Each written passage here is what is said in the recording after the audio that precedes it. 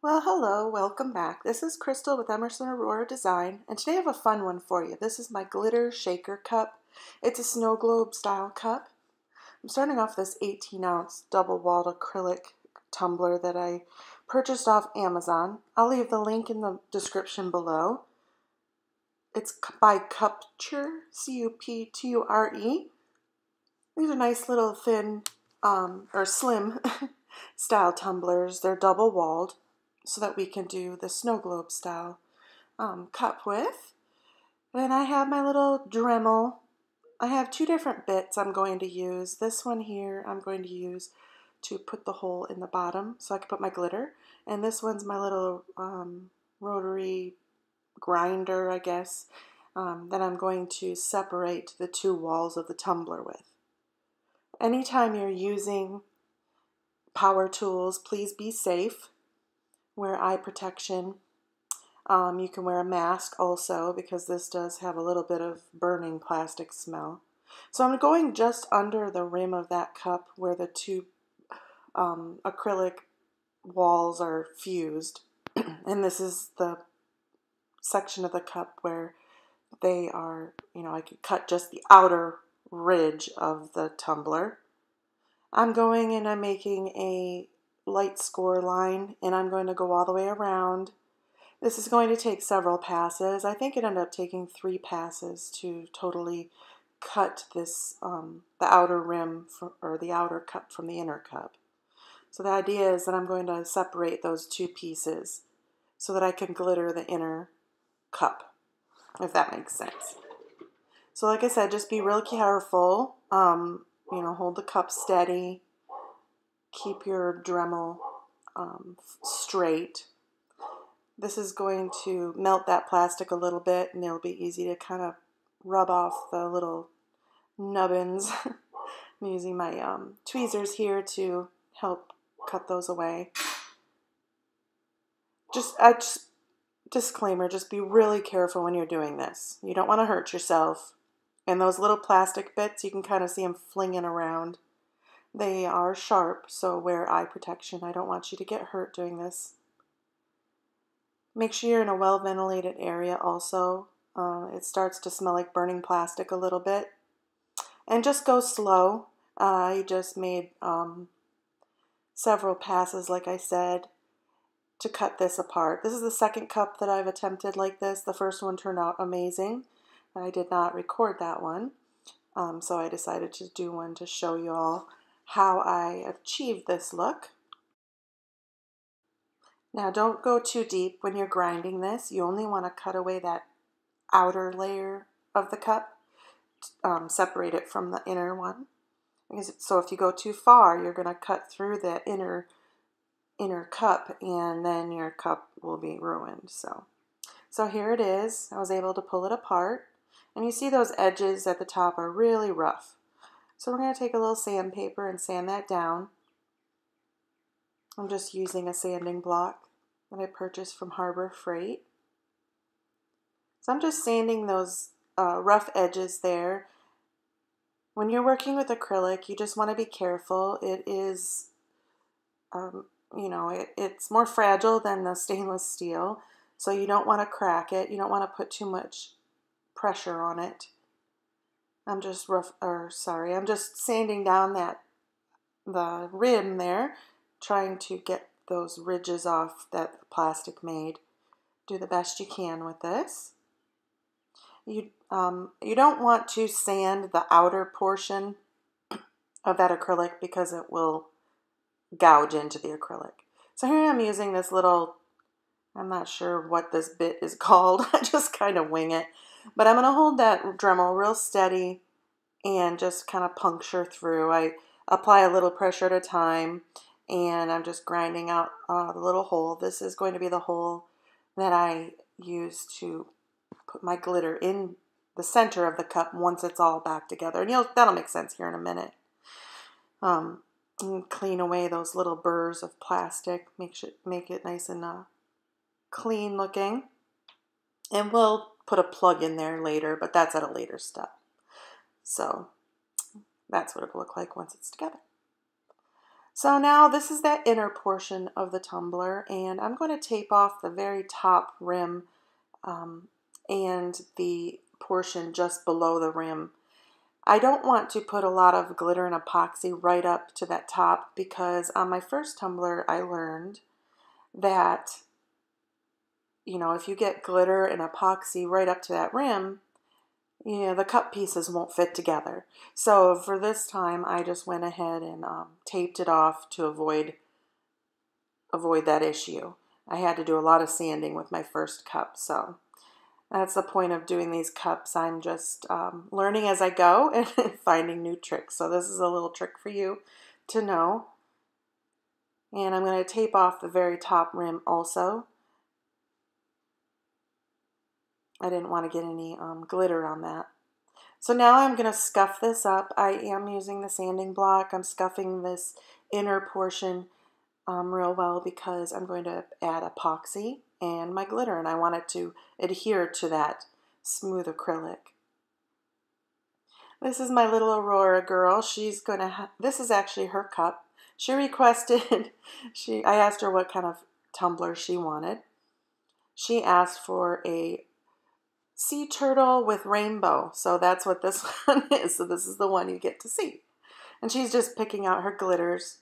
For this inner portion cup, I would suggest using fine glitter just so you don't have, I'm trying to avoid adding too many layers of resin on this inner portion. This cup is very, has a very narrow um, air, I, I don't know how to explain it. The, the inner cup and the outer cup are very close to each other, so I don't want to add too many layers to bulk that up because I'm going to add my liquid and glitter to the inner portion to make that snow globe effect, and I want the glitter to be able to move if that makes any sense. It'll all come together, you'll see. So this is her, these are her colors she chose. Um, she has a good eye for color. She's my little artist. So she went with the rainbow theme and she picked out her colors all by herself. She did really good. I'll list these glitters below here if you are interested in any of them. They're absolutely beautiful. So I'm going to add a small layer of epoxy to this. Um, you don't want to add a lot, usually about 5 mLs. This is a, a narrow tumbler too, it's just an 18 ounce, so just enough to cover that tumbler to act as an adhesive. I don't want this glitter to move around. So just be um, careful. You don't want it too thick. And I am going to also glitter the bottom because this is going to be seen from all angles. So just kind of spread that out. Um, the warmer your epoxy is, the better it'll spread. And I'm just kind of smoothing it out and then I'm going to let it rotate for a minute or two so we don't have those lines.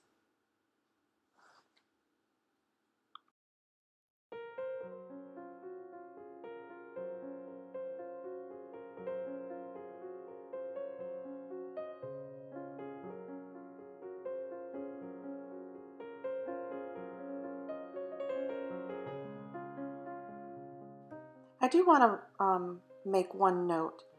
Generally, when I'm doing glitter swirls on a cup, I do base paint it with a white white spray paint or a white primer so that those glitters are really vibrant. This case, I did not do that. Um, this tumbler is a double-walled shaker tumbler. I was okay with that glitter just going over the clear cup. It allows it to be a little translucent, which is a pretty effect. And you can also see that glitter from the inside of the tumbler since it's clear. So that's why I decided not to spray paint this white first. But you can spray paint it white if you like before applying the resin and the glitter. I just wanted to try a different technique here. If you were to add glitter over a sterling, or I'm sorry, stainless steel tumbler without spray painting it first, your glitters definitely won't be as vibrant. It'll take on a different tone. So that's why I always spray paint my silver tumblers unless I'm using a silver glitter. But in this case, like I said, I, I liked the look of that translucence, so that's why I did not spray paint it.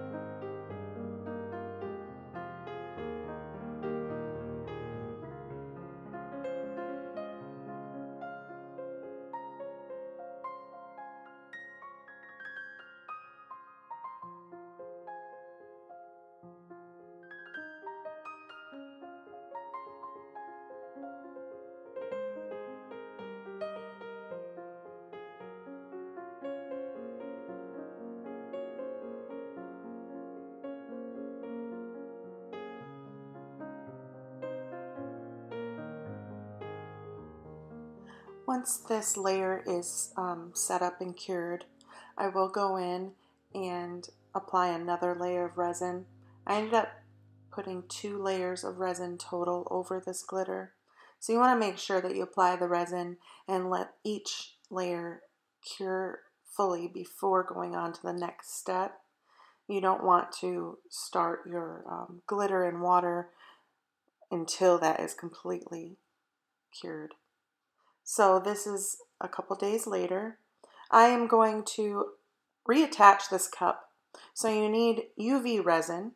UV resin is comes in a little bottle there and it will harden using a UV light and I have that UV light. I will link all of these in the description below. I purchased my UV resin and little nail UV light from Amazon. So this first little area that I'm going to attach, I'm holding it really well. I want to make sure that that cup stays level as I do it. And I'm using a little silicone tipped makeup brush to rub that uh, UV resin smooth into that groove I made earlier when I cut it. And I'm going to hold it really tight while I let this set with UV resin. I love using UV resin but you don't ever want to use UV resin on the last layer of your tumbler because um, it is not um, compliant with FDA. So you want to make sure that anytime you use UV resin, you're going to go over it with your FDA food compliant resin. But it's okay to use here. Um, I am going to go back over all this entire cup later with my regular epoxy. So I'm just smoothing that on um, in the groove, making as um, straight of a line as I can to fill in that uh, groove there. And I'm making a good seal again. So I'm sealing this cup shut because our next step will be to add our our uh, water mixture, or, or well, it isn't really water, it's glycerin, but just smoothing it here. This step took longer than it's showing here. This is all sped up. I'm, I'm curing each section for about 120 seconds. So I just want to make sure that's completely around there. I'm just showing that little opening. So I'm going to sand this layer here. Um, I'm just going to try to sand the area that I use the UV resin to try to smooth it down. When it cures, it does kind of leave bumps so I'm just sanding that down. Make sure that you're protecting yourself when you're sanding anything, um, especially resin or plastic, that those particles get into the air and you could breathe it in. So you can wear a dust mask when you're doing this. You could also do it wet sand if you'd like. I'm going to wipe it with some rubbing alcohol. Don't, um, one note, do not use acetone on an acrylic tumbler. Acetone does melt plastic, so you don't want to use acetone at all. So I'm just smoothing it out with my little um, silicone makeup brush there. Um, putting another layer of the UV resin around the entire rim of the cup. excuse me rim of the cup um, so that I have a really good seal and then I'm going to cure it under the lamp again.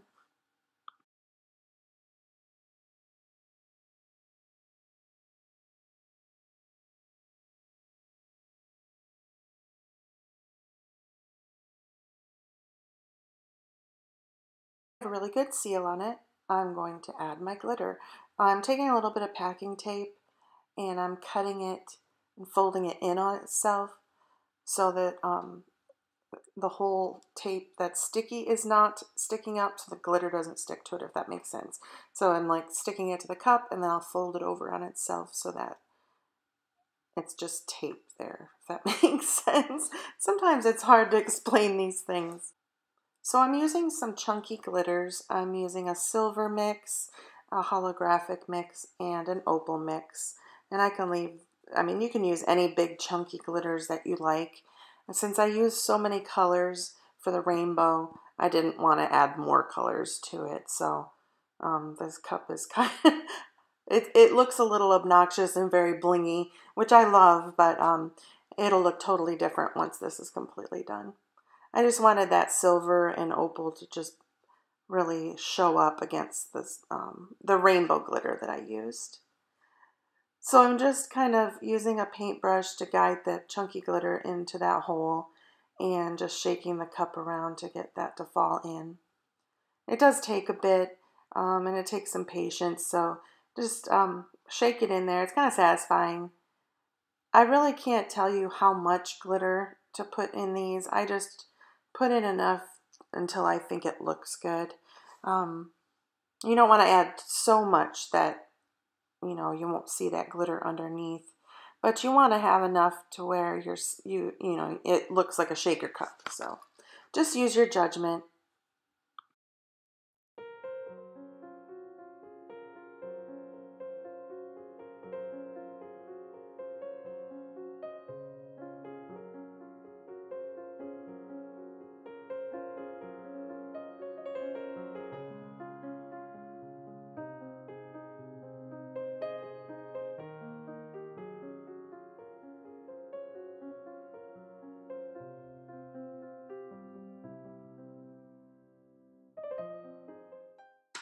So here's what it looks like with that glitter inside. Um, it is still dry. Now I'm going to use my um, mineral oil. I ended up using mineral oil in this. Sometimes I'll use glycerin. You can also use distilled water mixed with clear, um, clear glue. There's so many different ways to do a shaker cup. Um, I wanted that glitter to really be able to be suspended, so that's why I use the mineral oil. It is thicker. This was kind of a pain in the booty, I have to admit. Um, this cup, this cup has a very narrow area in there, so it was kind of hard to get that glycerin to flow in correctly. So I did spare you from watching all of the struggles that I was having. Um, you see me put a, uh, I, I continually wipe that top and rub it with rubbing alcohol. I want to keep that as clean as possible for the later step when I'm going to seal it. This is what I'm using to seal. Um, this is a plug. It's a little wax um, stopper that you use on the bottom of, I don't know, furniture, I guess. Um, I can link it in the description below. I bought it from Amazon. So I put the little stopper in and I'm holding my finger over the opening so that I can get that glitter to mix with the mineral oil and get it away from that top rim. I'm trying to avoid the air bubbles. So do this before you completely fill your cup up so that you don't have a really large air pocket. I'm just encouraging that glitter to move away so that way when I flip it back over, there won't be as big of an air bubble. So after I do that and I get all that air to move up, I'm going to top it off with the rest of the mineral oil. I want it as close to the very top as I can. Like I said, I don't want a large air bubble in this, but you do want a little air bubble. Go really slow with this. Um, this is trial and error. I've done several shaker cups in the past, and I wasn't really happy with some of them because they ended up having a pretty large air bubble so that the glitter didn't look like it went all the way to the top. Excuse me, I have the hiccups. and um, just go slow and bring it up as close as you can to the little um, area that you have cut open. But like I said, still leave a little bit of uh, bubble air there. I'm going to spray this with rubbing alcohol that um, the mineral oil is really greasy. So I'm trying to keep it really clean so that I can get the UV resin to adhere to that. So now I'm going to put my little stopper in. It, it feels like wax. It kind of adhere, it kind of moves and um, really sticks in there well. I've tried glue sticks in the past, which work well, but this actually, I, I wish that I had had this earlier in my time of doing these cups. So I'll link those in the description. Once you have your little um, stopper in there, just make sure that all of that mineral oil is away from it. And I'm going to put a, a seal of the UV resin and spread it on there and try to just keep it on that top of that cup. This is to seal that your opening. I'm going to cure it with the UV resin and then I'll go back in and add another layer of the UV resin to really make sure I have a good seal. So next I'm going to um, put a larger area of UV resin across it. You just want to check and make sure that you're not getting any bubbling up or leaking there.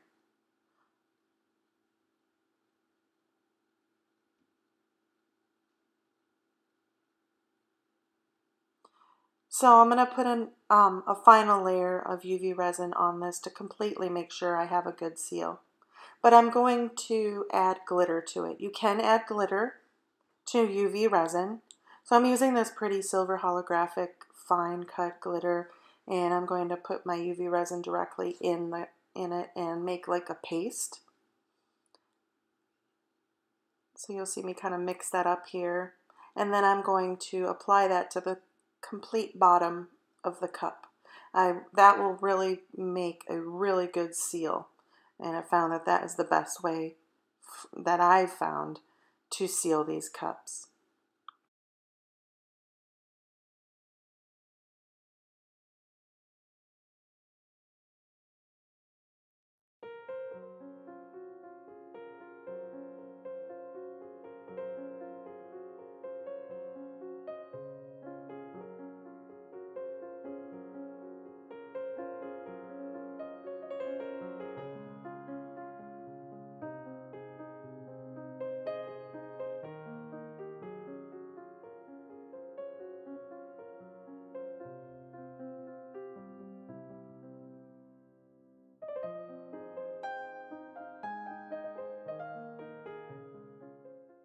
So just smooth that on the bottom. Try to get it as um, straight and flat as possible.